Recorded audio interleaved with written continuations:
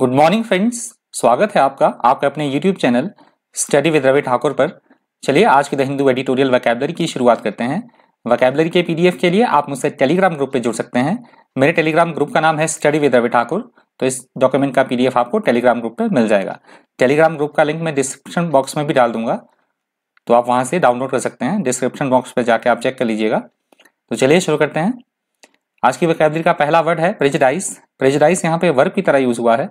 इसका मतलब होता है किसी के प्रति प्रबल नापसंदगी होना एवं अविश्वास होना, या हम बोल सकते हैं किसी कोई खास लोगों का ग्रुप है, उसके प्रति पक्षपात पूर्ण व्यवहार करना, उसको बोला जाता है prejudice prejudice is an unreason unreasonable dislike of a particular group of people or things or a preference for one group of people or things over another that is called prejudice माफ़ कीजिएगा। अगला शब्द है restraining restraining यहाँ पे verb की तरह use हुआ है। इसका मतलब होता है किसी वस्तु किसी व्यक्ति या वस्तु को या फिर किसी प्रक्रिया को नियंत्रण में रखना, अपने कंट्रोल में रखना, उसको बोला जाता है restraining to keep somebody or something under control to prevent somebody or something from doing something that is called restraining next word है वेंडेटा वेंडेटा यहाँ पे नाउन की तरह यूज़ हुआ है। इसका मतलब होता है दो व्यक्तियों के, दो व्यक्तियों या फिर दो ग्रुप्स हैं, उनके बीच काफ़ी समय, काफ़ी लंबे समय से चला रहा कोई विवाद या झगड़ा। उसको बोला जाता है vendetta a serious argument or dispute between two people or groups which last for a long time that is called vendetta next word है इंजंक्शन इंजंक्शन यहाँ पे नाउन की तरह यूज़ हुआ है। इसका मतलब होता है न्यायालय का आधिकारिक ऑफिशियल या फिर औपचारिक आदेश होना।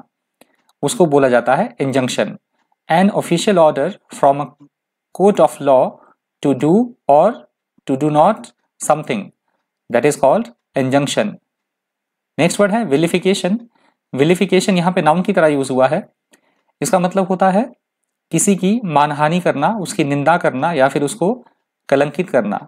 उसको बोला जाता है विलिफिकेशन किसी की मानहानि करना, उसकी निंदा करना या फिर उसको कलंकित कर देना उसको बोला जाता है विलिफिकेशन अगला शब्द है प्रोपेगेशन प्रोपेगेशन यहाँ पे नाउन की तरह यूज़ हुआ है। इसका मतलब होता है किसी भी बात का या कि, किसी चीज़ का प्रसार करना उसका प्रचार करना उसको बोला जाता है propagation the spreading of something belief or practice into new regions that is called propagation next word है डेट्रीमेंट डेट्रीमेंट यहाँ पे नाउन की तरह यूज़ हुआ है। इसका मतलब होता है किसी को नुकसान एवं क्षति पहुंचाना, उसको बोला जाता है detriment if something happens to the detriment of something or to person detriment it causes harm or damage to them that is called detriment next word है अकॉर्ड अकॉर्ड्स यहाँ पे नाउन की तरह यूज़ हुआ है। इसका मतलब होता है दो देशों के बीच या दो समूहों के बीच, दो ग्रुप्स के बीच ऑफिशियली तौर पे कोई समझौता होना, कोई एग्रीमेंट होना उसको बोला जाता है accords an agreement specially between countries that is called accords next word है ऑक्टोजेनेरियन ऑक्टोजेनेरियन यहाँ पे नाउन की तरह यूज़ हुआ है।